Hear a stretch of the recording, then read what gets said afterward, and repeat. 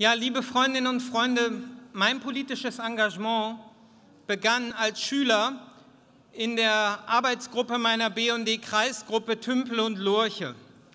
Wir legten Biotope an, kartierten Frösche, Kröten und Molche, pflegten die letzten Sumpfschildkröten unserer Gegend und vor allem mein Lieblingsgebiet war die Kartierung von Libellen. Vor kurzem fuhr ich wieder in die Wiesen, Felder und Wälder der hannoverschen Moorgeest. Und das, was ich als Jugendlicher gezählt habe, das gibt es nicht mehr. Die Insektenpopulationen sind weitgehend zusammengebrochen. Die Zahl des Summens und Sirrens, die Lautstärke hat abgenommen. Und vor allem die Schmetterlinge, die wir damals gezählt haben, die Populationen sind nur noch ein Schatten ihrer selbst.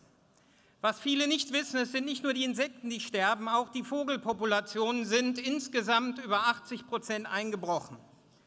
Und rund um diese Europawahlen wird entschieden, was mit dem mittelfristigen Finanzrahmen der Europäischen Union von 2021 bis 2027 passiert. 256 Milliarden Euro, Agrarsubventionen der Europäischen Union in atemberaubender Höhe. Und wir Grünen sagen dazu, dieses Geld darf nicht länger dafür ausgegeben werden, dass unsere Landschaften leer werden. Es muss wieder summen und sirren. Dieses Geld muss in eine nachhaltige Landwirtschaft. Lasst uns diese Europawahlen gemeinsam zu einer Abstimmung über das Insektensterben, über das Vogelsterben und über eine Landwirtschaft machen, die mit den Grenzen unseres Planeten in einhergeht. Das ist das Zentralste.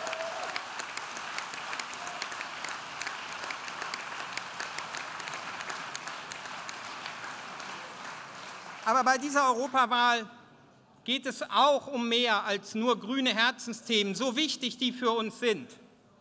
Überall in Europa haben Rechtspopulisten zwei Ziele, zwei Feindbilder. Erstens Migranten, Ausländer, Flüchtlinge und zweitens die europäische Einigung selbst. Was die CSU jetzt in Bayern macht, kennen wir aus anderen Ländern längst. Rechtspopulistische Politik kommt bei den Parteien an, die bisher die Regierungen getragen haben. Die CSU fordert jetzt Rechtsbrüche als Antwort auf Rechtspopulismus und nationale Alleingänge statt europäische Lösungen und multilaterale Institutionen. Ende diesen Monats wird entschieden, ob Europa endlich die Reformen bei Migration und beim Euro braucht, bekommt, die es so dringend braucht. Und diese europäische Lösung können wir nicht bekommen, wenn wir in Deutschland eine Regierungskrise bekommen, die aus Bayern kommt. Und deshalb lasst uns klar sagen, deshalb lasst uns klar sagen, Europa darf nicht an Deutschland scheitern und die deutsche Regierung darf nicht aus Bayern zu Fall gebracht werden. Wir brauchen jetzt europäische Verantwortung. Wir sind bereit, diese Verantwortung zu übernehmen.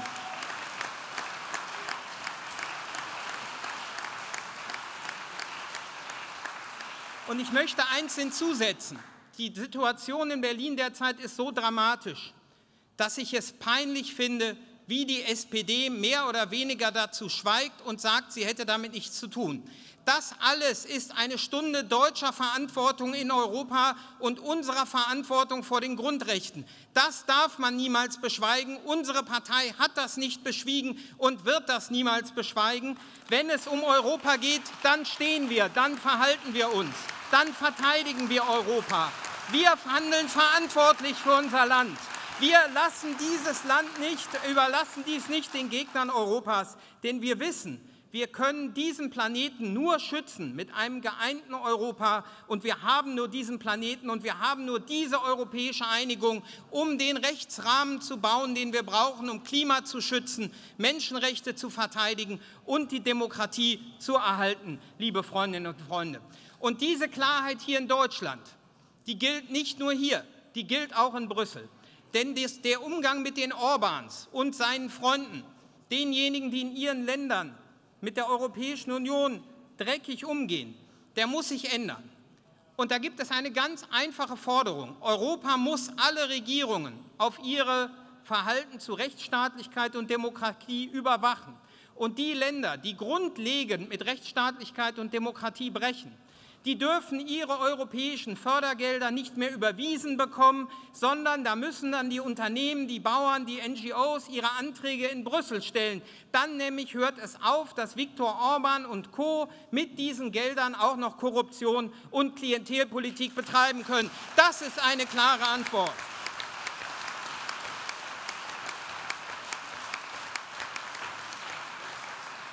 Vor zwei Wochen war ich in meiner Lieblingssteueroase Malta und ich werde diese Arbeit und will diese Arbeit gegen Finanzkriminalität und Steuerflucht fortsetzen. Europa braucht Steuergerechtigkeit als Teil sozialer Gerechtigkeit. In den letzten Jahren ist da unheimlich viel passiert. Europa hat Apple eine Rechnung von 17 Milliarden Euro geschickt. Man kann nicht mehr einfach im Ausland ein Schweizer Bankkonto eröffnen. Aber wir sind noch nicht fertig mit dem Kampf gegen die Finanzkriminellen. Und ich werde da erst Ruhe geben, wenn die Steueroasen zu sind und alle ihre Steuern da bezahlen, wo sie erwirtschaftet worden sind.